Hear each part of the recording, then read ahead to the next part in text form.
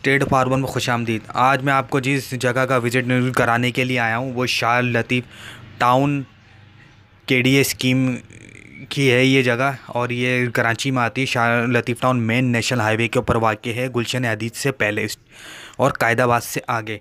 तो ये और ये यहाँ पे सारे और यहाँ पे जो प्लॉट हैं, वो के डी ए के प्लॉट्स हैं, ठीक है? और आबाद सेक्टर भी है, जैसा कि आप देख भी रहे होंगे।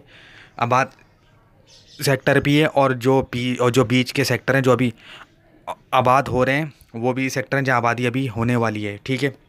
इसके अलावा जो लेना चाहता है, जो ख़रीदो फ़रोख्त के हवाले से मेरा व्हाट्सअप नंबर है, उस पर वॉइस मैसेज कर सकता है। इसके अलावा ये है कि यहाँ पे जो जो जो सेक्टर अभी आबाद हो रहे हैं, वहाँ पे सबसे छोटा प्लॉट तकरीबन साठ गज का है, और वहाँ पे तकरीबन बीस लाख तक, बीस लाख के करीब करीब जो है ना लोकेशन बहुत अच्छी होगी तो बीस लाख तक में भी मिल जाता है। और जो शुरू के सेक्टर हैं तो वहाँ पे तकरीबन थोड़े से ज़्यादा हैं रेट इसके। भाई, ये है कि प्राइवेट सोसाइटीज़ जो कोऑपरेटिव हाउसिंग सोसाइटीज़ है, उससे बहुत बेहतर है क्योंकि गवर्नमेंट की जगह है और गवर्नमेंट की स्कीम है। ठीक है? और और यहाँ पे बैलेट सेक्टर भी हैं और एमडीए स्कीम वन और टेसर टाउन से भी बहुत बेहतर है क्योंकि वो तो अभी आबादी नहीं हुए यहाँ तो आबादी भी है, पानी भी है, बिजली भी है और गैस भी, मधु मौजूद है और वीडियो के अंदर आप देख भी रहोगे आबादी।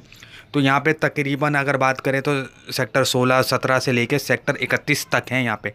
सेक्टर, शुरू के सेक्टर में तो महँगे तकरीबन 35 40 तक में अस्सी गज़ का प्लॉट मिलेगा 30 से 35 तक में। लोकेशन के हिसाब से और 120 गज़ का प्लॉट तकरीबन 40 से ऊपर ये 45 से लेके साठ, पैंसठ की रेंज में मिलता है।